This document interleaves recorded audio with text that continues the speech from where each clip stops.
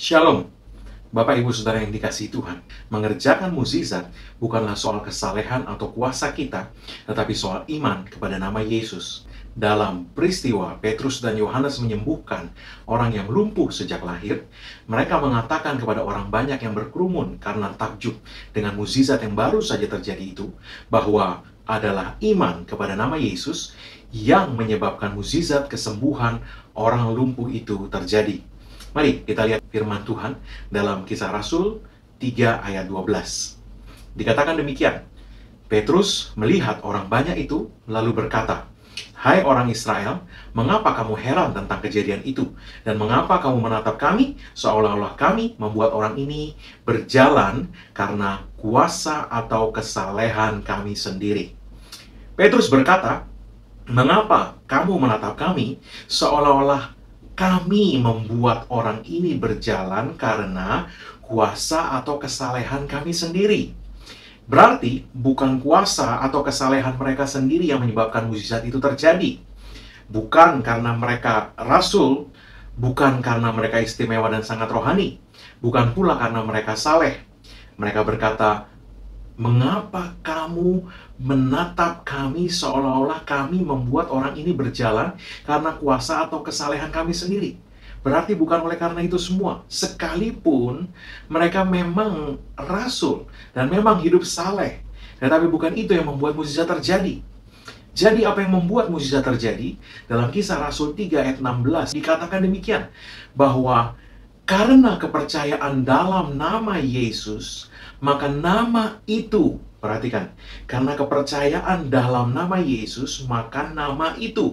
Karena kepercayaan dalam nama Yesus, maka nama itu. Jadi, ketika kita menaruhkan kepercayaan kepada nama Yesus, maka nama itu yang akan mengerjakan mukjizat. Bapak Ibu sudah dikasih Tuhan, firman Tuhan ini mengatakan karena kepercayaan dalam nama Yesus, maka nama itu telah menguatkan orang yang kamu lihat dan kamu kenal ini, dan kepercayaan itu telah memberi kesembuhan kepada orang ini di depan kamu semua. Kepercayaan itu, kepercayaan dalam nama Yesus itu telah memberi kesembuhan. Kepercayaan itu telah memberi kesembuhan. Berarti kepercayaan dalam nama Yesus itu telah memberi kesembuhan. Firman Tuhan berkata, "Karena kepercayaan dalam nama Yesus, maka nama itu telah memberikan mukjizat yang mereka lihat itu." Ketika kita menaruhkan kepercayaan dalam nama Yesus, maka nama itu mengerjakan mukjizat buat kita. Sekali lagi, nama itu yang memberikan kekuatan kepada orang yang lumpuh itu dan menyembuhkan dia ketika kepercayaan ditaruhkan di dalam nama itu. Bapak Ibu Saudara dikasih Tuhan, ketika kita menaruhkan kepercayaan di dalam nama Yesus, maka nama itu akan mengerjakan mukjizat buat kita. Ketika kita menaruhkan kepercayaan dalam nama Yesus, sekali lagi, maka nama itu mengerjakan mukjizat buat kita. Persis seperti yang Yesus katakan, dalam Yohanes 14 ayat 13. Dan apa juga yang kamu minta dalam namaku, aku akan melakukannya. Supaya Bapa dipermuliakan di dalam anak. Ketika kita menaruhkan kepercayaan dalam nama Yesus, saya katakan sekali lagi, ketika kita menaruhkan kepercayaan dalam nama Yesus, ketika kita menaruhkan kepercayaan dalam nama Yesus, maka nama itu mengerjakan mukjizat buat kita. Nama itu mengerjakan mukjizat buat kita. Karena Yesus berkata, apa juga yang kamu minta dalam namaku, aku akan melakukannya. Ketika kita menaruhkan kepercayaan kita di dalam nama Yesus, maka nama itu akan mengerjakan mujizat buat kita. Mengapa? Karena Yesus berkata, apa juga yang kamu minta dalam namaku, aku akan melakukannya. Bapak Ibu dan kasih Tuhan yang membuat melakukan mujizat itu adalah Yesus saat kita menaruhkan kepercayaan kepada namanya. Yesus berkata, apa saja yang kamu minta dalam namaku. Apa saja. Apa saja yang kamu minta dalam namaku. Tentunya dalam koridor semua yang Tuhan telah janjikan. Kesehatan ilahi, kelimpahan, penyediaan supranatural, umur panjang, perlindungan, semua yang baik. Firman Tuhan berkata, apa saja yang kamu minta dalam namaku, Firman Tuhan berkata, apa saja yang kamu minta dalam namaku, aku akan melakukannya, kata Yesus. Kita menaruhkan kepercayaan dalam nama Yesus. Ini yang penting, bukan kepada nama kita sendiri, Artinya apa Pak? Kesalehan kita, perbuatan baik kita, kerohanian kita, ketaatan kita. Bukan. Taruhkan kepercayaan kepada nama Yesus. Kepada apa yang Yesus sudah selesaikan buat kita di kayu salib. Kepada kesempurnaan dari pekerjaan penebusannya. Kepada Yesus dan namanya yang penuh kuasa itu. Kepercayaan kepada nama Yesus itu yang dikatakan maka nama itu maka nama itu telah memberikan kekuatan, telah memberikan kesembuhan. Maka nama itu, itu yang kita perlu garis bawahi. Sekalipun saya katakan semua itu penting, hidup kudus penting, saleh, taat penting. Tetapi soal mukjizat, Yesus berkata bahwa itu adalah soal menaruhkan iman kepada dirinya, yaitu kepada namanya, untuk membuat apa yang kita butuhkan terjadi bukan kepada apa pun mengenai kita, tapi kepada Dia dan hanya Dia. Dan Rasul Petrus mengaminkan hal itu dalam kesaksian yang kita telah baca ayat-ayatnya tadi, bahwa kesembuhan orang lumpuh itu terjadi karena kepercayaan dalam nama Yesus. Haleluya. Jadi mengerjakan mukjizat bukan soal kesalehan atau kekuatan rohani kita, tetapi soal iman kepada nama Yesus. Mukjizat terjadi saat iman ditaruhkan di tempat yang benar, yaitu pada Yesus dan bukan pada siapa pun juga atau apa pun juga yang lain. Hanya pada Yesus, hanya pada namanya, bukan pada perbuatan baik kita, bukan pada kesalehan kita, bukan pada kita, tapi hanya pada Yesus. Kita perlu menaruhkan penghormatan yang seharusnya pada nama Yesus. Kita telah terlalu lama menaruhkan iman pada hal-hal rohani yang kita kerjakan, pada kesalehan, pada ketaatan, pada perbuatan baik kita. Kita bahkan lebih menghormati itu semua daripada nama Yesus sehingga iblis mendapat kesempatan untuk menjadikan semuanya itu sebagai alasan mengapa mujizat tidak terjadi. Iblis berkata, karena kamu kurang taat, karena kamu kurang saleh, karena kamu kurang baik dan sebagainya, karena kurang ini, kurang itu katanya. Iblis berkata, semua itulah penyebab mengapa mujizat tidak terjadi. Bapak Ibu saya dikasih Tuhan itu tipu, tipu muslihat iblis. Dia tidak akan pernah sekalipun juga menaruhkan penghormatan kepada nama Yesus dan memberitahukan kepada kita yang sebenarnya bahwa mujizat akan terjadi jika kita menaruhkan penghormatan dan iman kita pada nama Yesus dan bukan pada kesalehan dan kebaikan diri kita sendiri. Ya, dia tidak akan pernah mengatakan itu. Sebab dia tidak akan pernah mau kita mengetahui kebenarannya. Dan menaruh iman kita dan apresiasi kita di tempat yang seharusnya. Yaitu pada Yesus dan pada namanya yang luar biasa. Iblis tidak akan pernah mau kita menghormati nama Yesus. Sungguh menghormatinya, sangat menghargainya. Sehingga mempercayai bahwa nama itu yang memberikan kekuatan kepada orang lumpuh ini dan menyembuhkan dia, kata Rasul Petrus. Bapak Ibu Saudara dikasih Tuhan, iblis tidak mau Anda menaruhkan imanmu sepenuhnya kepada nama Yesus. Iblis mau Anda mencampurkan iman itu dengan ketergantungan kepada diri sendiri dengan mengandalkan kebaikan, kesalehan, ketaatan, semua tentang dirimu sendiri. No.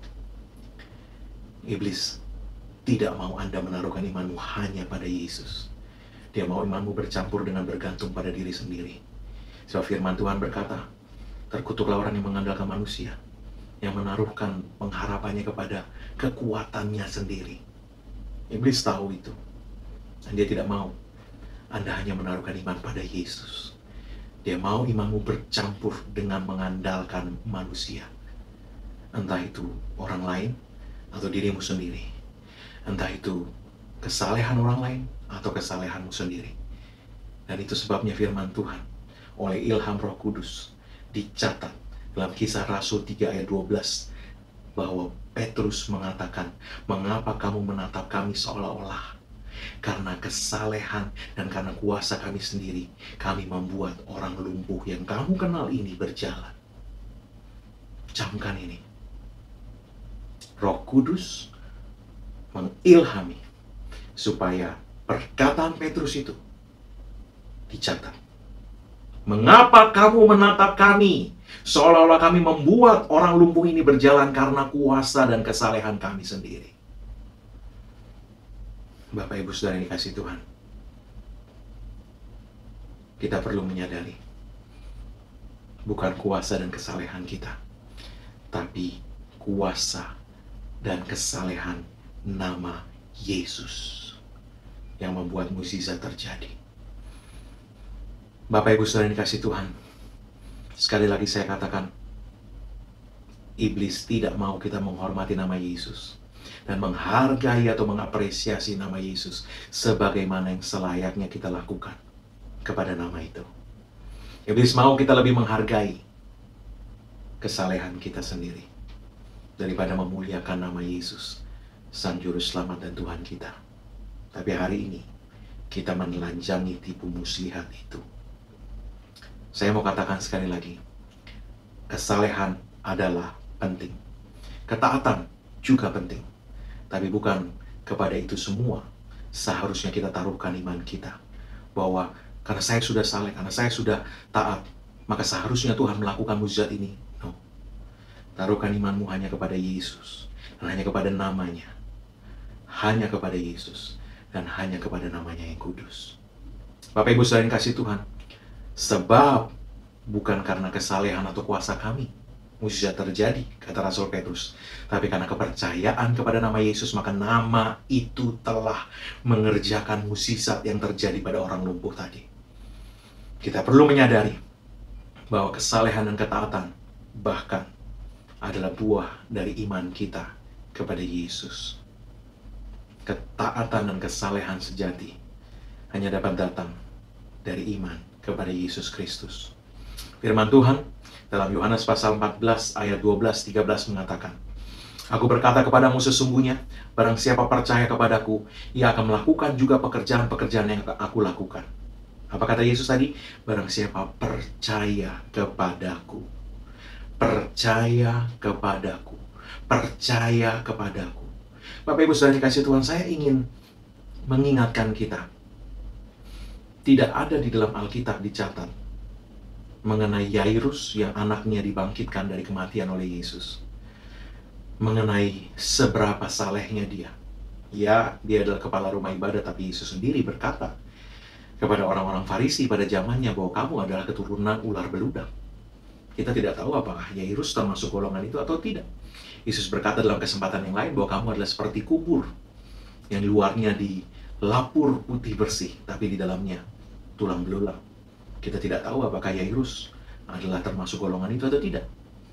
Alkitab tidak pernah menjelaskan soal itu.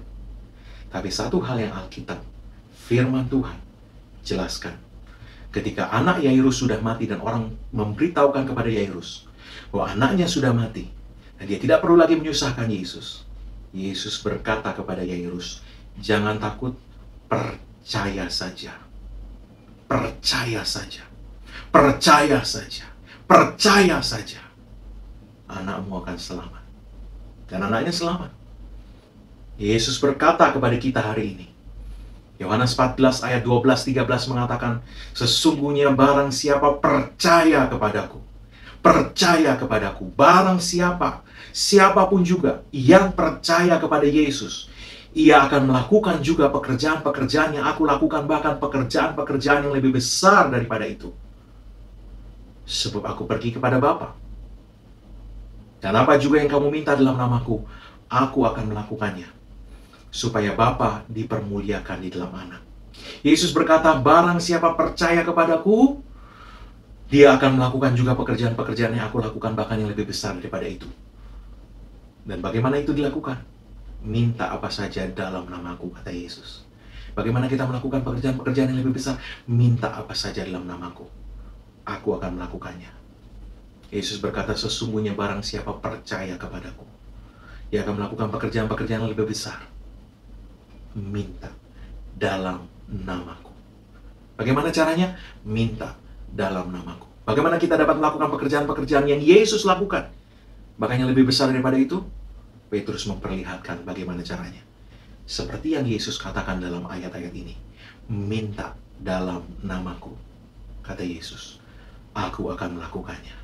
Begitulah caranya kita dapat melakukan pekerjaan-pekerjaan yang Yesus sudah lakukan, bahkan yang lebih besar daripada itu. Haleluya. Apa pun juga yang kamu minta dalam namaku, aku akan melakukannya.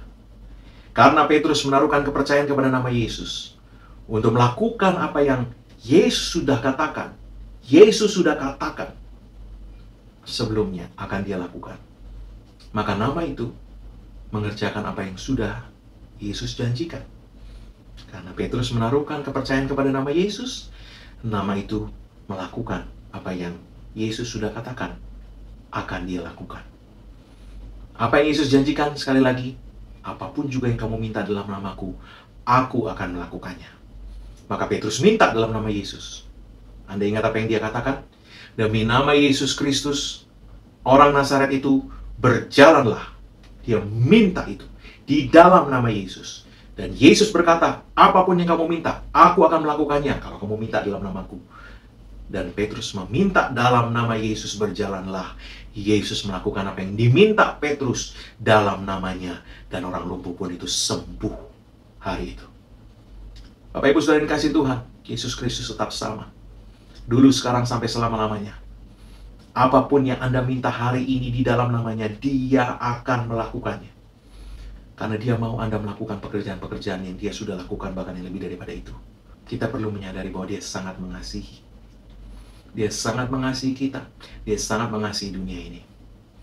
Itu sebabnya dia berikan namanya. Supaya pertolongan, pertolongan kasihnya, kuasanya, muzizatnya dapat mengalir kepada kita di dalam namanya itu.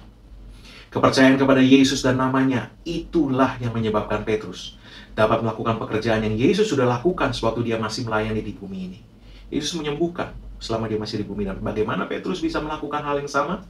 Dia minta dalam nama Yesus. Nama Yesus menyebabkan Petrus dapat membuat mukjizat hari itu. Dan dia katakan sekali lagi, mengapa kamu pikir?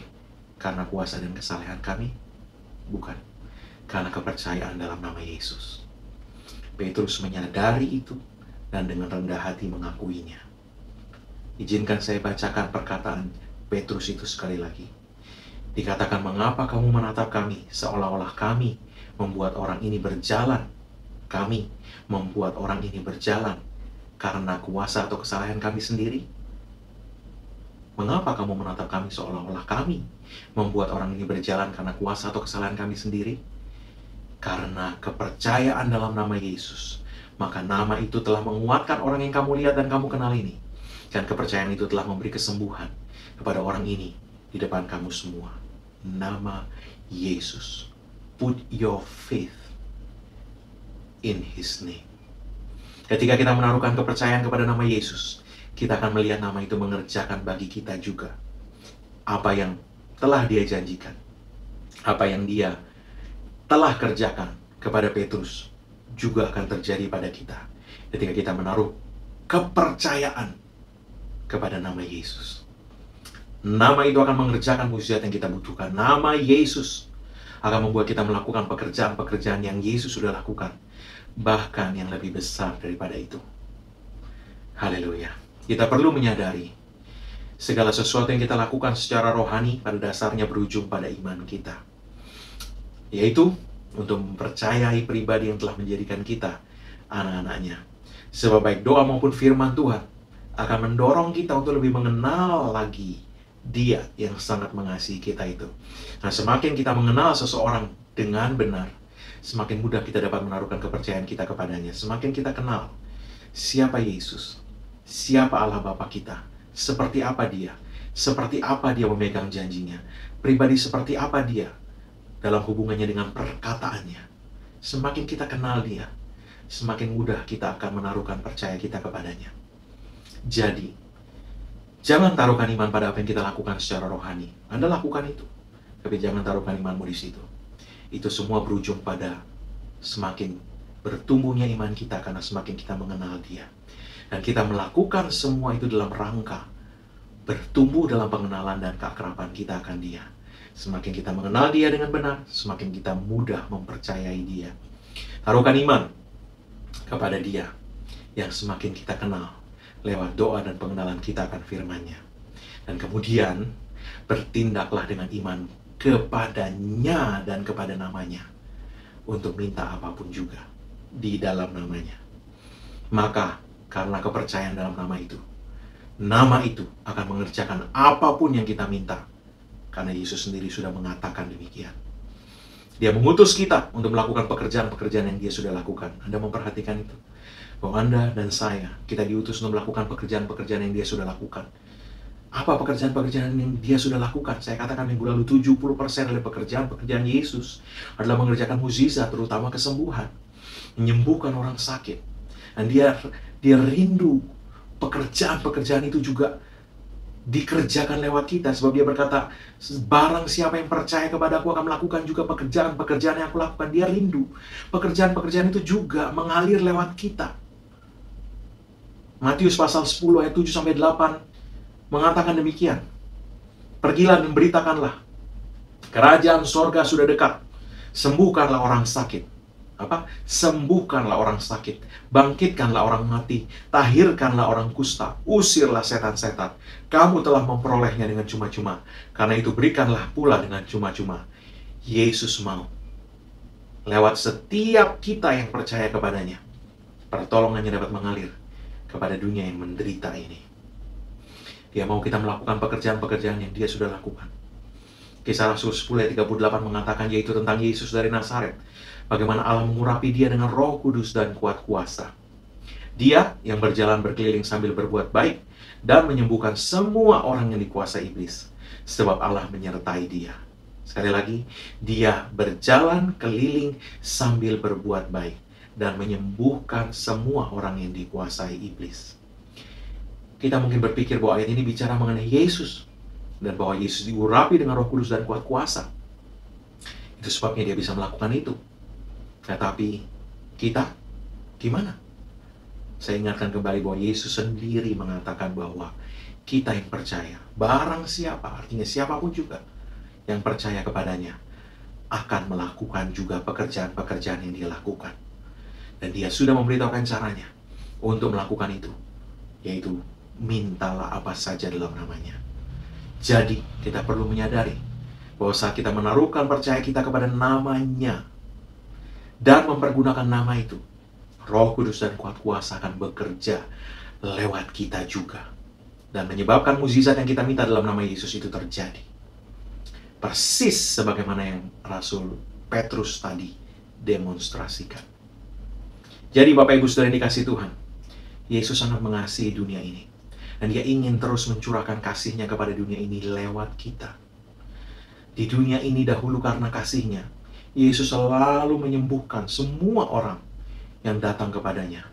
Dia selalu memberikan pertolongan kepada semua yang datang kepadanya.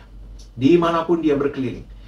Orang sakit di mana pun juga firman Tuhan berkata, meletakkan orang-orang sakit di sepanjang jalan, di desa-desa, di kota-kota, supaya mereka boleh menyentuh jubah-jubah Yesus. Yesus izinkan, dan mereka semua sembuh. Yesus masih mau melakukan itu hari ini. Dia mengasihi dunia yang terhilang ini. Dia mengasihi dunia yang menderita ini. Dan lewat siapa dia dapat melakukan semua yang dahulu dia lakukan. Lewat siapa dia dapat terus mengasihi dunia yang menderita ini. Lewat Anda dan saya. Lewat kita. Bagaimana caranya? Dia berikan namanya kepada kita. Pakai nama itu. Dia katakan, minta apa saja dalam namaku. Aku akan melakukannya ketika kita minta orang disembuhkan, ketika kita minta kuasa kesembuhan mengalir, ketika kita minta jadilah sembuh. Petrus berkata apa tadi? Berjalanlah dalam nama Yesus. Yesus akan melakukannya. Yesus akan melakukannya. Sebab dia sendiri telah mengatakan itu. Bapak Ibu Saudara dikasih Tuhan, dia rindu melakukan itu. Hari ini dia masih sama. Dahulu, sekarang, selama-lamanya dia tetap sama Ibrani 13 ayat 8. Dia rindu mengasihi dunia yang menderita ini lewat Anda dan saya. Izinkan dia mengasihi dunia ini lewat kita. Bergeraklah dengan iman. Izinkan dia menolong mereka yang membutuhkan di sekitar Anda. Dengan kuasa namanya. Dia akan melakukan setiap hal yang kita minta di dalam namanya. Dia rindu melakukan itu. Dia rindu melakukannya untuk kita, dan dia rindu melakukannya lewat kita. Bertumbuhlah dalam iman lewat bergaul dengan dia dalam doa dan pengenalan akan firman Tuhan. Dan semakin Anda mengenal dia, semakin mudah Anda menaruhkan kepercayaanmu kepadanya dan kepada namanya. Dan kemudian bergeraklah bersama dia. Sembuhkanlah orang sakit.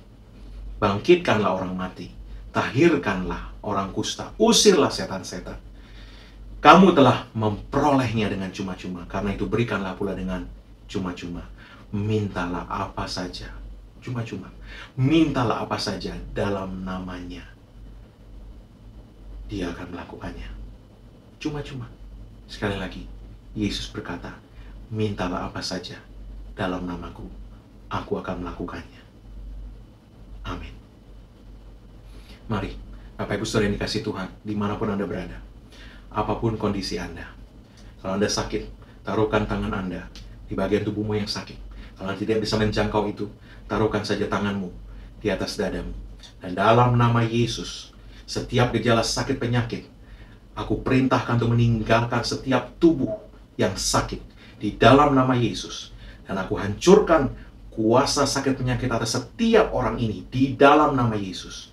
Dan aku perintahkan dalam nama Yesus, jadilah sembuh, sempurna, pulih sempurna dalam nama Yesus. Anda memiliki berbagai kebutuhan, ekonomi, berbagai kebutuhan untuk rumah tanggamu, anak-anakmu, keluargamu buka kedua tanganmu kepada Tuhan. Di dalam nama Yesus Allahku memenuhi segala kebutuhanmu menurut kekayaan dan kemuliaannya di dalam Kristus Yesus. Dalam nama Yesus, aku berdoa untuk perjumpaan ilahi, pengaturan ilahi terjadi atasmu sebagaimana firman Tuhan berkata kebajikan kemurahan belaka mengikuti engkau seumur hidupmu dalam nama Yesus. Dan dalam nama Yesus aku berdoa segala berkat rohani yang ada di dalam sorga telah diberikan kepadamu, itu termanifestasi dalam hidupmu di dalam nama Yesus. Amin. Mari buka kedua tanganmu, angkat kepada Tuhan, dan terimalah berkat Tuhan. Dalam nama Yesus. Karena apa yang Yesus Kristus telah selesaikan bagi kita di kayu salib. Karena curah darahnya, karena penebusan yang sempurna, maka sekarang tidak ada lagi penghukuman bagi setiap orang yang ada dalam Kristus Yesus. Engkau telah ditebus, harganya telah dibayar lunas. Oleh sebab itu dalam nama Yesus, berkat Tuhan tercurah berlimpah-limpah, memberkati engkau dalam segala hal. Oleh berkat Tuhan itu engkau naik terus, tidak turun, kau jadi kepala bukan ekor. Dan apa yang disentuh tanganmu dibuat Tuhan berhasil. Dengan panjang umur Tuhan mengenyangkan engkau. Dan Tuhan memperlihatkan kepadamu keselamatan daripadanya. Umurmu minimal 120 tahun. Dan dipenuhi dengan hari-hari yang baik dari Tuhan. Dalam nama Yesus. Amin.